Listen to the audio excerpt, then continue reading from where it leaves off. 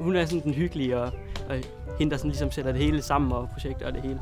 Hun er ikke bange for at kaste sig ud i mange forskellige projekter. Vi får sunget en masse spændende musik.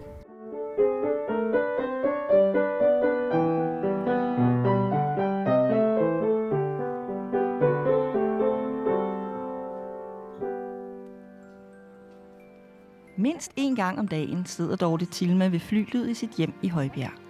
Hun er organist i Langenæskirken i Aarhus og har været det i over 31 år. Hun er korleder og komponerer musik. Hun syr alt sit tøj af stoffer, som hun selv væver. Hun spinder og indfarver uld, som omsættes til farverige plæter og trøjer.